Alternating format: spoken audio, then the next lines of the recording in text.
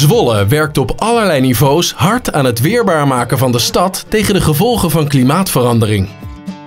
Neem nou de Buxtehudestraat, een mooi voorbeeld van de samenwerking tussen gemeente en de woningcorporatie SWZ.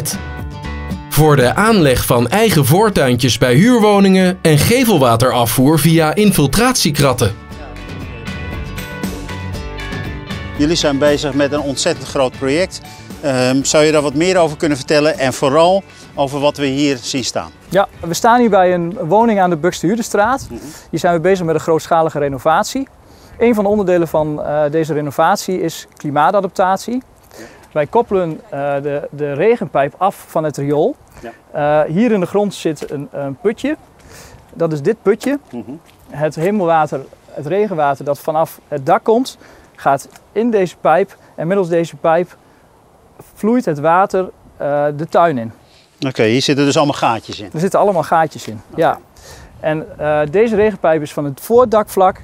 Dus dat betekent dat wij 50% van het regenwater dat voor deze renovatie op het riool, in het riool belandde, nu in de voortuin belandt. Ja. En op die manier ontlasten we het riool. Hoe zijn jullie op het idee gekomen met die voortuinen bezig te gaan? Ja, wij zijn natuurlijk eh, eh, gestart met deze renovatie en we hebben eh, de woningen verduurzaamd. Er zijn zonnepanelen opgekomen. Nou, de verduurzaming betekent onder andere dat we de hele gevel hebben geïsoleerd. We hebben nieuw glas erin gedaan, nieuwe voordeur. En eigenlijk wilden we ook wel wat extra doen voor het klimaat. Dus we wilden ook echt iets doen aan klimaatadaptatie. Ja, en we zagen toch ook wel dat er, dat er in deze wijk toch behoorlijk wat tuinen versteend waren. En ja, daar wilden we wat mee om te zorgen dat ook, niet al, dat, dat ook het hemelwater goed in de tuinen kon infiltreren. En daarom hebben we de delen van de, eh, eh, van de tuinen ontegeld om zo meer ruimte te maken voor het, eh, het hemelwater. Hoe hebben jullie de bewoners betrokken? Nou, de bewoners waren al betrokken bij de renovatie. Ehm, eh, deze wijk bestaat uit 144 huurwoningen en 30 koopwoningen. En al die bewoners zijn, hebben meegedaan in de voorbereiding van dit project. Eh, en zo hebben ze dus ook weer betrokken bij het vergroenen van de voortuinen. We hebben drie bewoners bereid gevonden om een, eh, een voorbeeldtuin te maken, zodat bewoners aan de voorkant al konden zien van hoe gaat het eruit zien.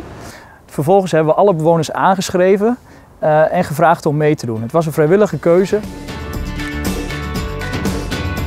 We hebben in oktober hebben wij de eerste tuindag georganiseerd. De bewoners werden daarbij gevraagd om, om zelf de handen uit de mouwen te steken. Ze hoefden verder niks aan te schaffen. Het gereedschap, plantjes en de teelaarde die nodig was om, om een deel van de tuin te vergroenen, die werd beschikbaar gesteld.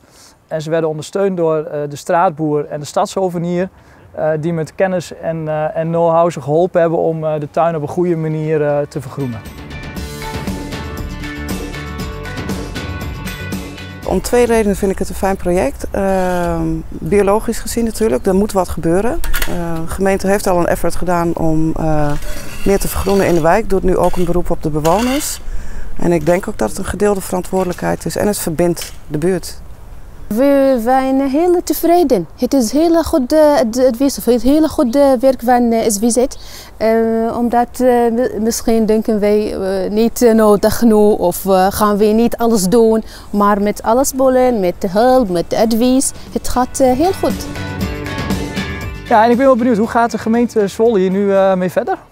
Ja, wij vinden dit gewoon echt een super gaaf eh, voorbeeld. We hebben eh, natuurlijk heel veel inwoners die vergelijkbare voortuinen hebben. Ja, die kunnen we hier langs sturen. Doe inspiratie op. Kijk wat er allemaal mogelijk is.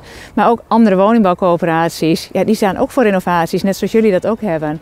Ja, en die kunnen wellicht ook eh, hiervan leren.